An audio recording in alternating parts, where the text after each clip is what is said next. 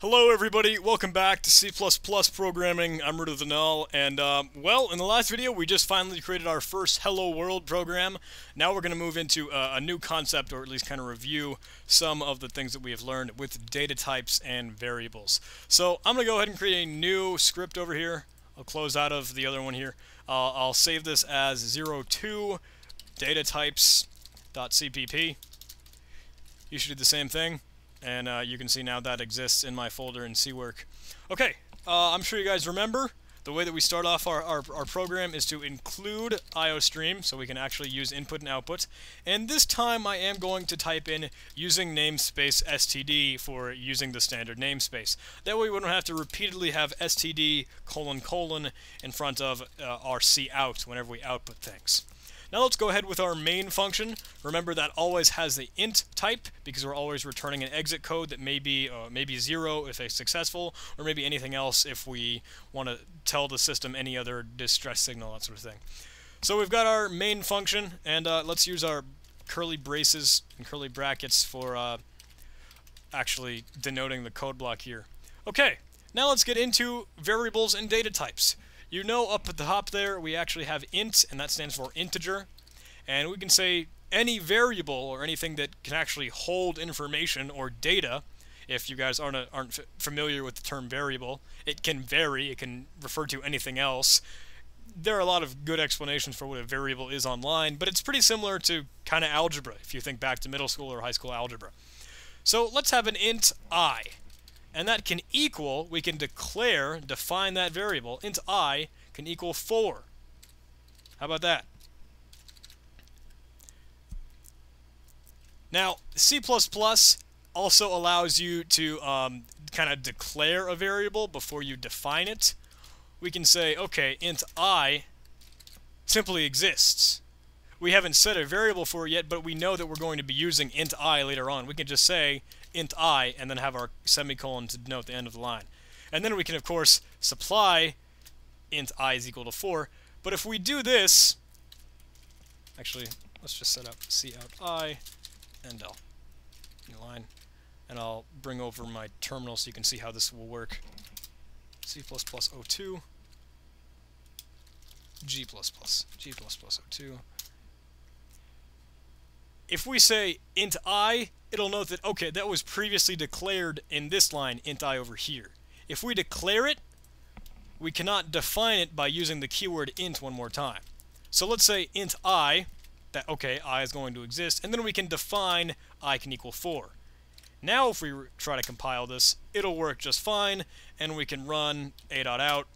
It's printing 4 because we know that that's the, the value of i. We can do this all in one step. We can say int i is equal to 4, like we had at the very beginning. Now if we try this, that works just fine. It compiles for us, and we still get out i is going to equal 4. Awesome. So there's a simple integer. Of course, that can be 0. Of course, that can be any negative numbers. That's just an integer. Great. Remember, uh, actually, let's move on before I introduce that.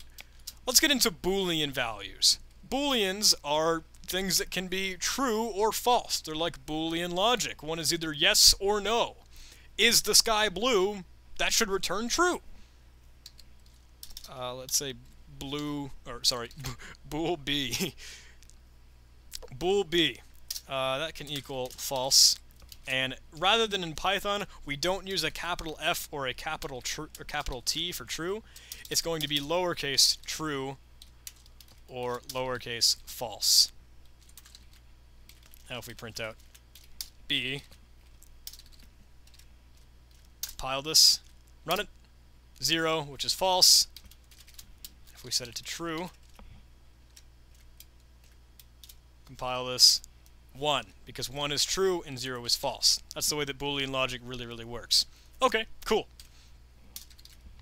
Now, remember, before I get too far ahead of myself, remember that variables can only start with a letter or an underscore. They cannot start with numbers. If I were to say 2b, what if I tried this? What if I tried to compile this? Nope. Well, of course, I, I used 2b over here. Now try to compile this. Expected unqualified ID before numeric constant. That just can't happen. We just can't have a number start the variable. It can, however, be an underscore, bool underscore br variable. Now if I run this, that compiles just fine, and it's still 1. Okay, that works just fine for us. Let's move on to another data type. Let's move on to the char, or the character. Though it can hold a single letter. We can have C, and that can equal A.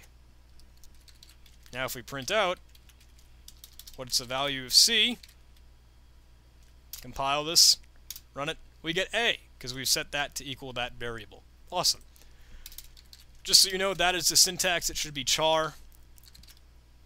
And we can have floats. Float can represent uh, any decimal with numbers that are often have characters after the period. Float f can equal 0. Point blah blah blah blah blah. Now if we print out f, compile this, and run it. Cool. Very nice for us. There's another one, um, double. Double is pretty similar to uh, float. Let's use any number here. Double D. 3.34321. Okay, that works just fine for us as well. And there's also another one, uh, unsigned integers. Unsigned integers, unsigned int, it's unsigned space int. Unsigned integers are only positive numbers. They cannot be negative. So if I set s to equal negative 4, maybe there will be an error here. Hopefully, hopefully my compiler will tell me something. Oh. No, yeah, it's going to freak out, for one thing. but if we set it to be regular 4, that works just fine for us.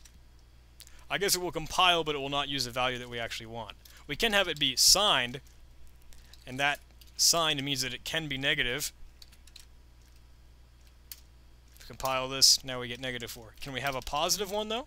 Let's find out. We can. We can have 4. Sign means it could be either positive or negative. Okay, so those are lots of different variable types that you'll typically see in, uh, in C and C++. Lots of variable types.